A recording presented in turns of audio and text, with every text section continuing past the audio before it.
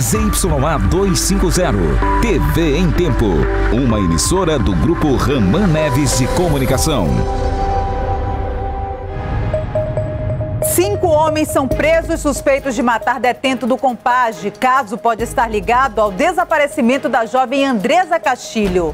Idoso morre em acidente de trânsito no Cidade de Deus. Ele foi atingido por um táxi. Homem se passa por médico e furta celular de paciente em hospital da capital. Governador eleito Wilson Lima confirma mais seis nomes para o secretariado. E ainda, supermercado investe em programa de contratação de idosos para o fim de ano. Jornal em Tempo desta segunda-feira começa agora.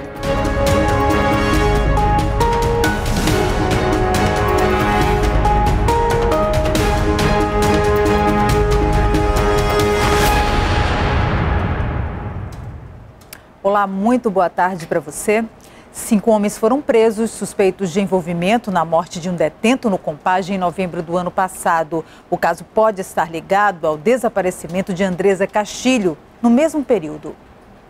O quinteto foi preso na manhã desta segunda-feira. Três deles foram capturados em zonas distintas da capital. Os outros dois são internos do sistema prisional do Estado e cumprem pena por homicídio e tráfico de drogas. Segundo a polícia, eles são suspeitos de envolvimento no assassinato do detento Daniel Ferreira no ano passado.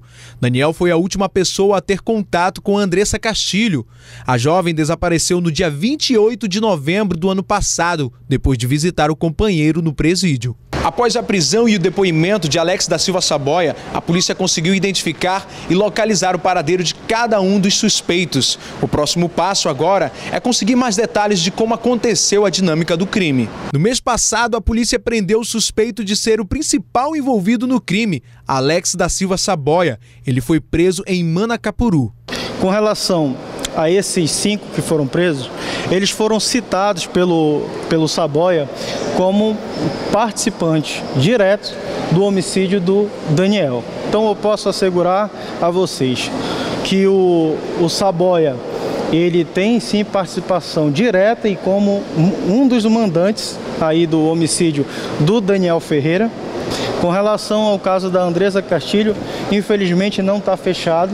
Nós vamos prosseguir, nós vamos continuar nas investigações da Andresa. Alex Saboia era considerado peça-chave nas investigações do caso. Agora, a polícia investiga se ainda há outras pessoas envolvidas no crime. Estamos falando de uma investigação complicada em que vários internos do regime de aberto se juntaram para fazer uma espécie de justiçamento né, entre eles e que vitimou esse, esse interno Daniel Ferreira. Então, hoje nós estamos apresentando esses cinco que estão é, denunciados pelo Saboia, que foi o que matou, estava ouvindo a morte da Andresa, como tendo participado é, do homicídio do Daniel Ferreira. E agora à tarde, um acidente na rodovia Manuel Urbano deixou uma pessoa morta e outras duas feridas. Quem traz os detalhes é o repórter Juliano Couto. Olá, o acidente aconteceu no fim da manhã desta segunda-feira na rodovia Manuel Urbano, quando o condutor de um caminhão acabou perdendo o controle do veículo. Ele chegou a sair da pista.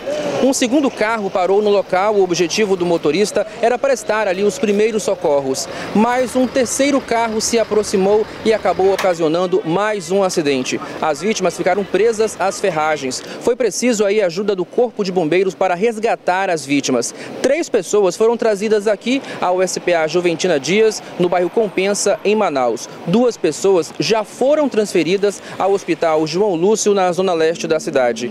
Um homem acabou morrendo, ele não resistiu aos ferimentos. Volto com você aí no estúdio.